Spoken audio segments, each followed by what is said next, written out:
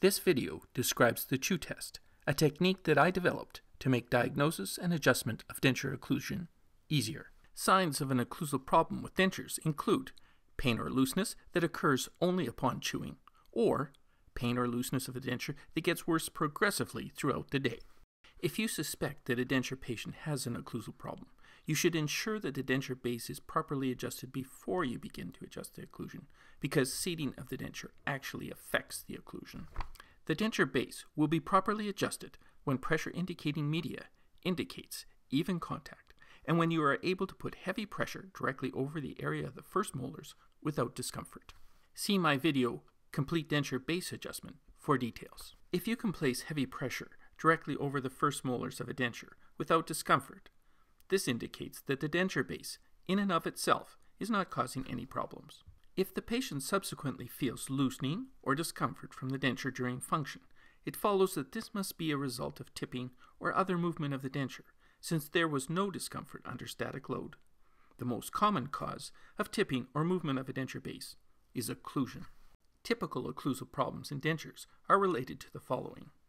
Heavy occlusal contacts or occlusal prematurities that make contact in only a few areas can lead to localized pressure, discomfort, or loosening of the denture. Secondly, contacts on inclines are not stable and cause the cusp to either slide down the initial contact incline and or generate tipping, tilting, sliding, or twisting force on the denture, which can result in localized pressure, pain, or loosening. Lastly, contacts located buccal to the residual ridge generate tilting or twisting forces. The ridge can be thought of as a fulcrum point, and the further that force is placed buccal to that point, the greater the fulcrum, and the larger the tipping potential there is on the denture. Any of these occlusal problems, heavy contacts, contacts on inclines, or buccal contacts, can occur in either centric or excursive contacts, so check both. When dentures tip, tilt, or twist, identifying the location of problem contacts can be difficult because the movement of the denture causes the articulating paper markings on the problem areas to be less noticeable, since the whole denture tends to move away from the applied force. The chew test was developed to help make locating these occlusal errors less difficult. The chew test should be part of the delivery phase for every new denture, or for any denture patient that is experiencing looseness or discomfort during function. Tear, not cut, a cotton roll and make a compressed cotton ball approximately the size of the occlusal table of a premolar. Dampen it. Insert the cotton ball intraorally and instruct the patient not to swallow it, but to move the ball around their arch, chewing to identify each area where they notice denture movement, discomfort, or loosening. It is important to ensure that the cotton ball is the size of the occlusal table of a premolar so that problem areas can be precisely localized to a single tooth when possible. Instruct the patient to stop and keep their jaws together with the ball in place each time they locate a problem area. While the patient is stopped in this position, part the patient's cheeks and lips and note the position of the ball as precisely as possible. This is an area where subsequent adjustments will be made. For each quadrant, where the patient has noted a problem, use articulating paper to mark the occlusal contacts in both centric and excursive positions. Make sure that the patient makes prominent rather than mild excursive movements.